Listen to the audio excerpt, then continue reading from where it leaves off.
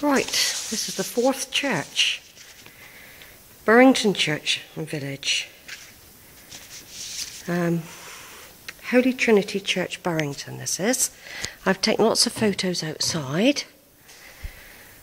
I managed to charge my phone up a little bit at um, Buckham. I mean, it won't cost them much. I mean, I did put some money in the box, you know. This is really good to be able to just. This will be the fourth church I've done today as well. They've got the Last Supper behind there, nicely carved. Look, I've got a little booklet which this will explain everything. Someone's done a big flower arrangement. I mean, look how massive that is. It's bigger than me. There's a fly buzzing around. There's an old carved mural of some in the wall there, look. Pretty tiled marble um, floor leading up to the altar there.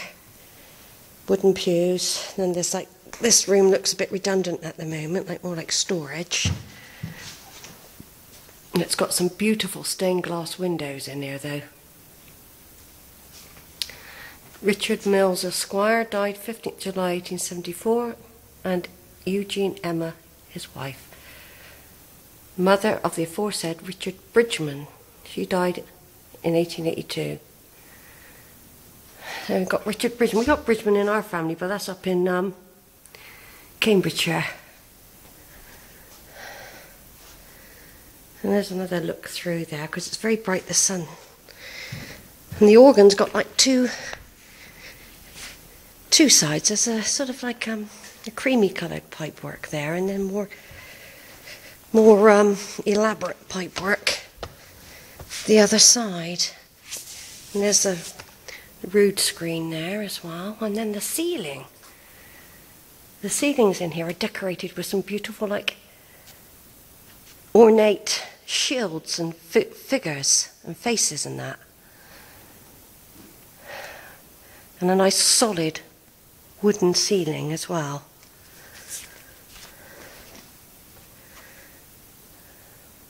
Some very old flags up there. And I noticed on the tower there was the weather vane was a huge golden stag. I've taken some photos and I hope it comes out. I've never seen that before.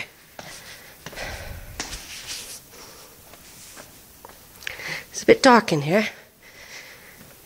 Lieutenant Colonel Sir Howell Llewellyn DSO, born 24th of November 1871, third son of Colonel Evan Llewellyn of Langford Court, died the 2nd of April 1945, and of his Mary Watt, and of his of Mary, his wife, who died in 1967.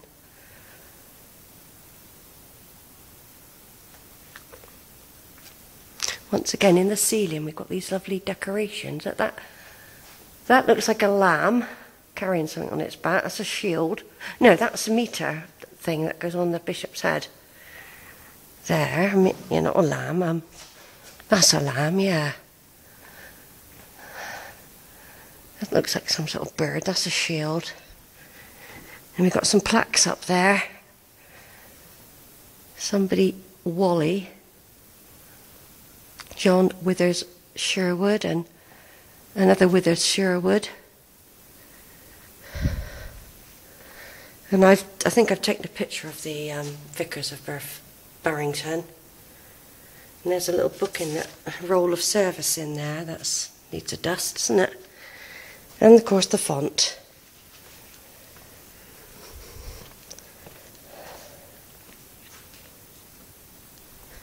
And because um, I went in here as well, this is um, Captain Henry Inman, Royal Navy, 1762 to 1809, son of Reverend George Inman, vicar. He served the most gallantly in the Mediterranean, West Indies, the Channel, and the Baltic under Viscounts Hood and Nelson. He died was he died whilst naval commissioner at Madras. And you've got the history of the colours there, which I can't read, but that refers to those very, very faint flags up there, look. Sort of Union Jack with some other stuff on it, and then there's some some more British Legion flags over there. And then in here you've got like the vestry, and there's some another nice stained glass window, and a rather nice little stone sculpture thing of Mary Ann's, the beloved wife of Lieutenant Colonel William Fawcett, who died at Mendip Lodge, March, and then it's all in um, Latin, so I don't know what that means. Then you've got the Right Honourable John Hen- Hiley Addington of Langford Court in this parish. Died in 1818, age 59, and other Addingtons.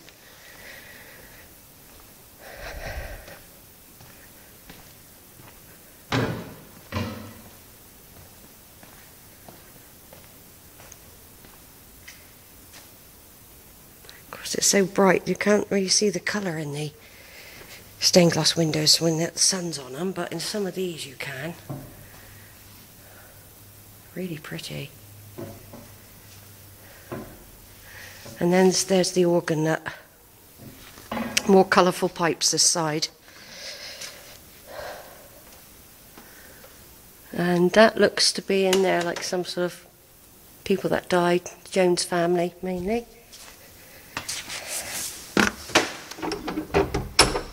That leads up to the tower. Towers will be a separate. Um, towers will be a separate thing.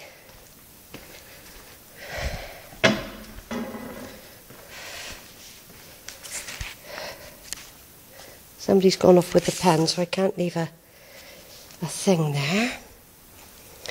Right, so I'm just going outside now. It's right. It is very remarkable, this church, though, isn't it? Solid doors. I can't find the lights. And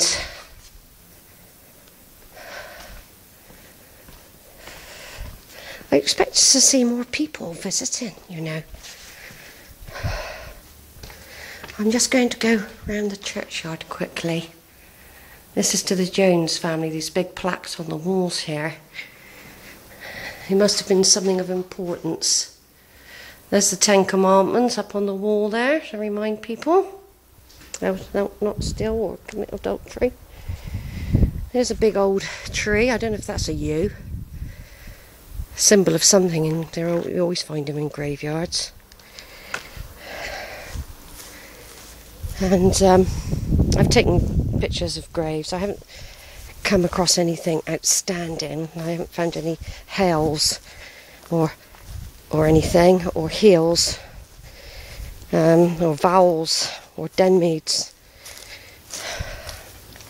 But there could be there could be some people here that are linked to those people.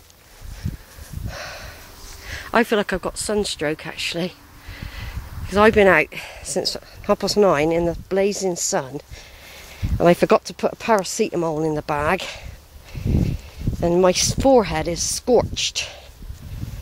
Oh yes, I'm sorry, there is some, there are a couple of graves. Albert Wookey, who died May the 29th, 1913, aged 73, and Louisa died 26th of January 1898, aged 57. Also Mary Ann Wookey, who died 1930, age 64. Because somewhere over at Rowberrow and Ship, Shipham, Barbara has got Wookey in the family. And there's another one here. Charles Wookey died October the 11th, 1885, age 80. And Maria, his wife, died March the 22nd, 1803, age 80. No, it can't be 1803, it could be 93. But it is a lovely solid church, isn't it? It's, it looks quite broad. The tower looks quite broad. And of course, over the back here by these, I mean, I'm miles from home, you know. I've got to start making my way back in a minute.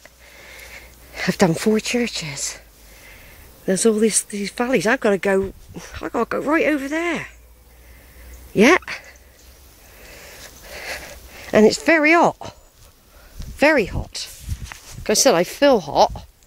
I get sunstroke later, I won't, you know, It's my own fault really, I should have had that on. And it's still very hot.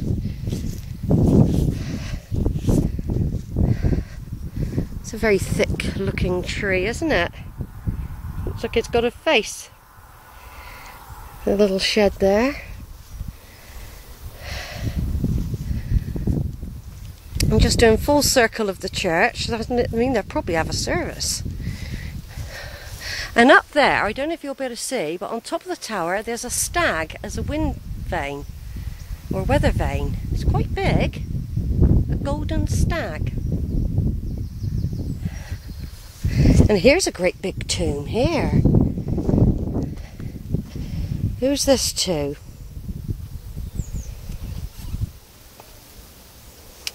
I think it's of Benjamin, could be Summers, Esquire, MD. And there's a Thomas Summers, Esquire, only child as well. Yes, a Summers family. This is a, a big vault under here.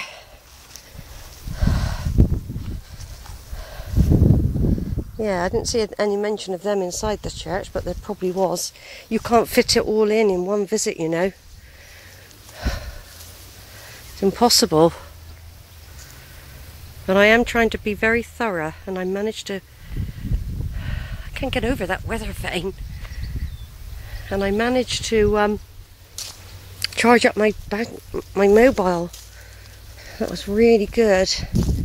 Now that could be an old school that's turned into either a rectory or the village hall, something like that. I've got to go back on quite a dangerous road in a minute, by the way, till I find my way to Churchill. And I don't really want to come down the A38, really. I don't know if it's the A38. No, it won't be the A38. Look at that stag, everyone, on top of there. I can't get over that stag. And he is moving. With the wind, he is moving telling me I've got the wind against me when I'm going home. There's an old Norman cross. Or it could be Celt, could be Saxon even.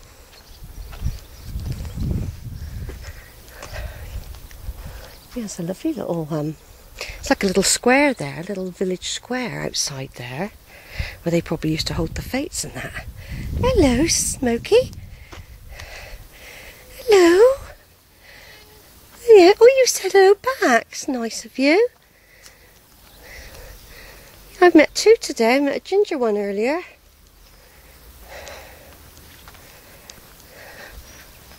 I'm so pleased I managed to do four churches. It was worth a whole day, I'll tell you, because the weather's going to change.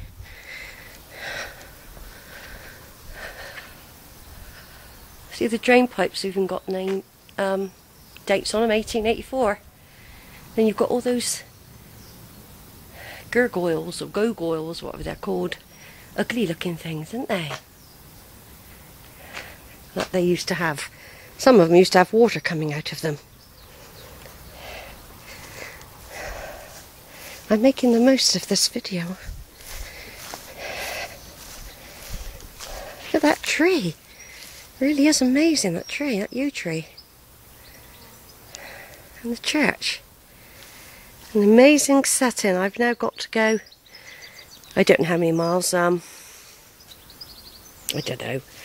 I'll be home as long as I'm home by ten because I want to watch Beyonce on at Glastonbury. Let me just see if I can get that stag again from this angle. Yeah, he's moved round again. Wait a minute.